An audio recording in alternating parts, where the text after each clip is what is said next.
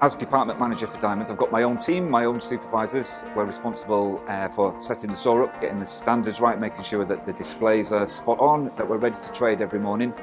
As part of my role as well, uh, the coaching, the, the, the, the knowledge that we all need to be able to confidently sell the brands that we sell in store. Do a lot of practices, daily, uh, daily sales practice, do the perfect 10 or the mystery shop practice if you like um, so that all the staff can confidently sit down and sell all the brands and the diamonds that we sell and do it confidently to all the customers. It's really satisfying helping a new member of staff when they join the company. There's a lot of new things to learn, lots of new products, lots of new services, things that they, you know they've never come across before. It's um, it's really satisfying watching them learn as they learn the new products, the new brands, how to explain these confidently to customers as well who wouldn't want to work in an environment like this where we're selling expensive things and we're getting to learn how you know proper Swiss watches are made and being able to get yourself the knowledge to be able to explain that back to a customer, as well as all the beautiful diamond jewellery that we've got in store. You know, it's a it's a nice environment to work in.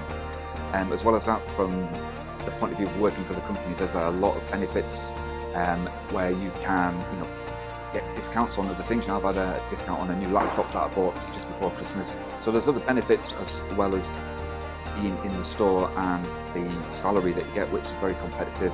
The bonus and the commission that we as managers and the staff get is also obviously an obvious benefit, which makes working here even more worthwhile when you achieve your targets. It's always good to know that you're getting that extra reward at the end of the month.